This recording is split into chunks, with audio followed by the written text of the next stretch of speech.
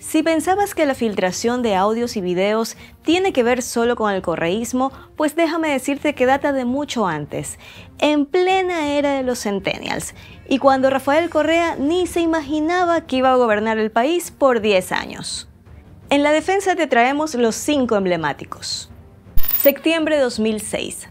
Renan Borbúa, el entonces diputado de la República y primo del expresidente Lucio Gutiérrez, fue la figura del escándalo, al punto de bautizar la grabación como los Borbu Videos. El mismo ex congresista grabó a tres jueces de la época, a quienes acusó de chantajearlo con 500 mil dólares por fallar a su favor en el juicio por injurias que le siguieron los también diputados Javier Neira y Miguel Orellana. A los magistrados se les abrió un proceso por cohecho, pero finalmente fueron sobreseídos.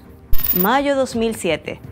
Ocho meses después, las grabaciones clandestinas tocaron la puerta de Carondelet y apuntaron a Ricardo Patiño, el entonces ministro de Economía, con sus famosos Pati Videos. Quinto Pazmiño, ex asesor de ese ministerio, entregó el audiovisual a Teleamazonas que se encargó de su difusión. Allí se veía al ministro Patiño con delegados de una banca de inversión quienes le habrían ofrecido 150 millones de dólares para asustar el mercado con el no pago de la deuda de los bonos Global 2030. Tras las revelaciones, Patiño dijo en su defensa que él mismo había ordenado grabar el encuentro, con autorización del presidente Rafael Correa, para obtener información sobre irregularidades y corrupción en el manejo de la deuda pública. Pazmiño terminó preso y falleció en 2010. ¿Qué pasó con el caso en fiscalía? Nunca más se supo nada. Para curarse en sano, el Presi ordenó vía decreto ejecutivo de julio de 2007 que se prohíba reproducir videos u otro tipo de audiovisuales grabados sin autorización, con sus salvedades, dentro del reglamento a la Ley de Radiodifusión y Televisión. Aunque ya sabemos que no le han hecho mucho caso a esa norma. Agosto de 2007.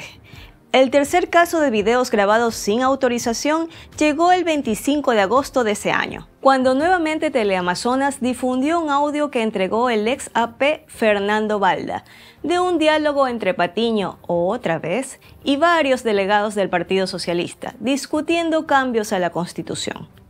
Correa se amparó en su decreto y denunció a Balda. Además, pidió la clausura de Teleamazonas. Estos casos fueron el detonante de muchos otros que involucraron a funcionarios, entidades y a un expresidente y que dejaron bajo la lupa a varios gobiernos de turno. Ya en el presente, a Guillermo Lazo se le abrieron dos frentes por la filtración de audios grabados clandestinamente. Un entramado de corrupción en las empresas públicas y el caso conocido como León de Troya.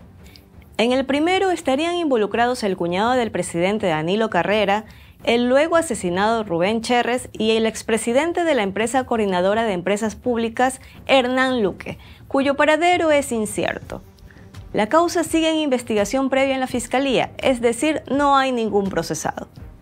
Mientras que León de Troya hace alusión a presuntos nexos del gobierno de Lazo con el narcotráfico. Aquí se destaparon supuestos pedidos de archivar la investigación, desmentidos de fiscalía, oficiales de la policía amenazados, silencio en el gobierno y los periodistas que lo revelaron autoexiliados.